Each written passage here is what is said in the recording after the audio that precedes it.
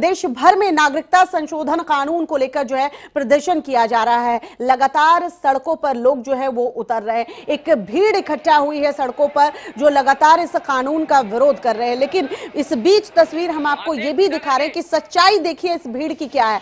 ये लोग कहाँ से आए हैं? जिन्हें ये तक नहीं पता वो प्रदर्शन किस लिए कर रहे हैं। सी होता क्या है? सीबीए होता क्या है? एनआरसी होता क्या है? इन्हें मालूम तक नहीं है। फिर भी ये विरोध प्रदर्शन कर रहे हैं। तो फिर सवाल ये उठना लाजमी हो जाता है कि आखिरकार इन्हें कौन भड़का रहा है, कौन बरगला रहा है, कौन इन्हें सड़क तक लेकर आ रहा है। धारा 144 जो है, वो उत्तर प्रदेश में लागू है। उसके बावजूद हिंसक प्रदर्शन देखने को मिल रहा है। ठाकुरगंज की बात कर ले, परिवर्तन चौक पर बात कर ले, बवाल मचा हुआ है। यहाँ पुलिस और प्रदर्शनकारियों में झड़प हुई है। गौरतलब है कि लखनऊ में नागरिकता कानून के खिलाफ प्रदर्शन में हिंसक रूप जो है, वो अख्तियार कर लिया। प्रदर्शनकारियों ने यहाँ पुलिस पर पथराव किया और नारे नारेबाजी की। इस दौरान प्रदर्शनकारियों को रोकने के लिए पुलिस ने आँसू गैस के गोले भी छोड़े।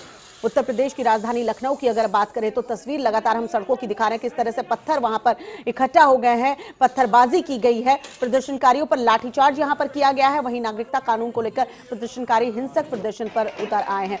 ये देखिए, छह अलग अलग तस्वीर इस वक्त हम आपको दिखा रहे हैं। ये यूपी के अलग अलग जिलों की तस्वीर है।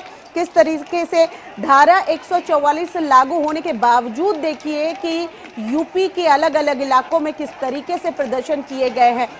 कहीं प्राइवेट व्हीकल को निशाना बनाया गया है, कहीं रोडवेज़ की बसेस को निशाना बनाया गया है। मीडिया पर किस तरीके से हमला किया गया है? ओवी वैन में आग लगा दी गई है। लखनऊ की ये तस्वीर हम आपको दिखा रहे हैं।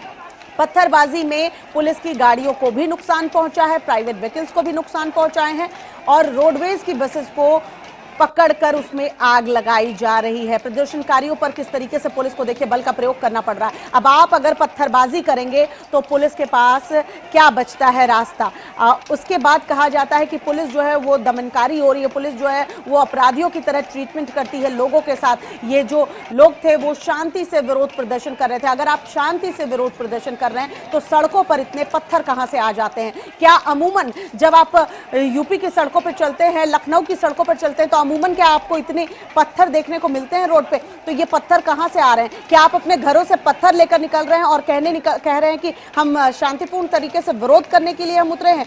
फिर ये पत्थर आपके हाथों में क्यों है? फिर ये पुलिस वालों पर जो पत्थर चला रहा है, ये पत्थर चलाने वाले पत्थरबाज कौन है? ये सवाल ज़रूर उठेंगे।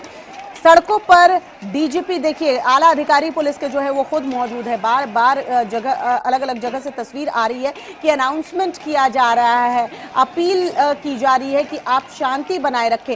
लेकिन हिंसक रूप अख्तियार करता ये आंदोलन नज़र आ रहा है, जो एक तरह से लोग कह रहे हैं कि हम इस कानून के खिलाफ हैं, वो अपनी बात आराम से भी कह सकते हैं बिना हिंसक हुए कह सकते हैं बिना उग्र रूप अख्तियार किए कह, कह सकते हैं। लेकिन इस तरह की हिंसा की हमारे लोकतंत्र में कोई जगह नहीं है। आप अगर सी के ख़िलाफ़ सरकार के ख़िलाफ़ प्रदर्शन करना चाहते हैं तो कानून को अपने हाथ में अगर लेंगे और फिर कहेंगे कि सरकार कानून में बदलाव करे तो शायद आपकी सुनी नहीं जाएगी। इसलिए बातों को समझिए। इसके भीतर तक जाइए कि पहले ये कानून कहता क्या है? सिटीजनशिप अमेंडमेंट एक्ट जो है, उसमें क्या बातें कही गई हैं? आपके अधिकारों का हनन हो भी रहा है या नहीं? या सिर्फ़ आप कहने के लिए कि आप विरोध कर रहे हैं, आप सड़क पर उतरे हैं? आपको पता भी नहीं है कि कानून में है क्या? कैसे आपका हक छिन जाएगा या हक मिल जाएगा? क्योंकि बार बार ये अपील की जा रही है कि सी ए ए जो है वो किसी भी तरह से नागरिकता छीनने का कानून नहीं है। जी हाँ ये नागरिकता देने का कानून है। ये उन शरणार्थियों के लिए है जो भारत में आ, आके शरण मांग कर रह रहे हैं। उन्हें ये नागरिकता देगा वो भारत के नागरिक हो जाएँगे उनको वो तमाम अधिकार मिलेंगे जो भारत के नागरिकों को मिलता है। तो फिर ये विरोध क्यों? क्यों विरोध हो रहा है? तो अगर ये आप इस भीड़ में मौजूद लोगों से पूछें तो ज़्यादातर लोग यकीन मानिए, ज़्यादातर लोग जो है, वो बता नहीं पा रहे हैं कि वो क्यों विरोध कर रहे हैं। लेकिन फिर भी वो सड़कों पर मौजूद हैं तो सवाल खड़ा होता है कि आखिर इसके पीछे कौन है? कौन है जो भीड़ को उकसा रहा है? कौन है जो लोगों को सड़कों पर ला रहा है? कौन है जिसे जनता की फ़िक्र नहीं है? और ऐसे जनता को सामने करके ढाल बना के कौन इसके पीछे साजिश रच रहा है?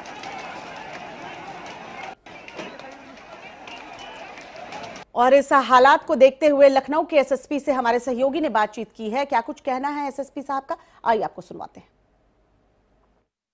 लखनऊ में जिस तरह से एसएसपी और डीजीपी ने खुद कमान संभाली हमारे साथ आर नाइन टीवी के साथ एसएसपी लखनऊ मौजूद हैं।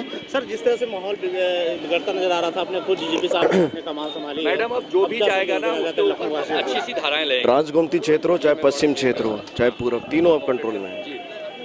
तीनों को कंट्रोल कर लिया गया पूरी तरह से। यहाँ पर जिस हिसाब से प्रदर्शनकारी प्रदर्शन कर रहे थे जिन्होंने प्रदर्शन किया कानून हाथ में लिया उन पर कार्रवाई करते हुए गिरफ़्तार किया गया। गिरफ़्तार किया गया सर जिस तरह से फुटेज सरकारी फुटेज भी निकाल के किया जा रहा इससे ज़्यादा मैं कुछ नहीं कह सकता हूँ। जिन्होंने उपद्रव किया उनको गिरफ़्तार किया। बड़ी हिकमत अमली से फोर्स ने जो है स्थिति को टैकल किया आप देख सकते हैं एसएसपी लखनऊ थे हमारे कालीन नथानी जी जिन्होंने कहा है कि जिन्होंने प्रदर्शनकारी थे उनको गिरफ़्तार कर लिया गया है और उनके ऊपर कार्रवाई की जा रही है। और सवाल उठता है जिस तरह माहौल बिगड़ता हुआ नज़र आ रहा था उससे डीजीपी और और साहब और जिस हिसाब से लखनऊ एसएसपी ने कमाल संभाली। यहाँ पर आप देख सकते हैं किस तरह से सबसे ज़्यादा संख्या हजरतगंज इलाके में मौजूद है क्योंकि यहाँ पर पास में है जो सचिवालय है और देखा जाए तो पास में लोक भवन है, मुख्यमंत्री आवास है यहाँ से मात्र 500 की मीटर पर दूरी पर है। इस वजह से यहाँ पर कमाल संभाली है। लखनऊ एसएसपी का कहना है कि जिस हिसाब से माहौल बिगड़ा था, बिगड़ा हुआ था, उसको कंट्रोल कर दिया गया है और सब चारों तरफ़ से अब व्यवस्था का, लखनऊ को संदेश पहुँचाया गया कि व्यवस्था सबसे टाइम है। वीडियो जर्नलिस्ट मिश्रा के साथ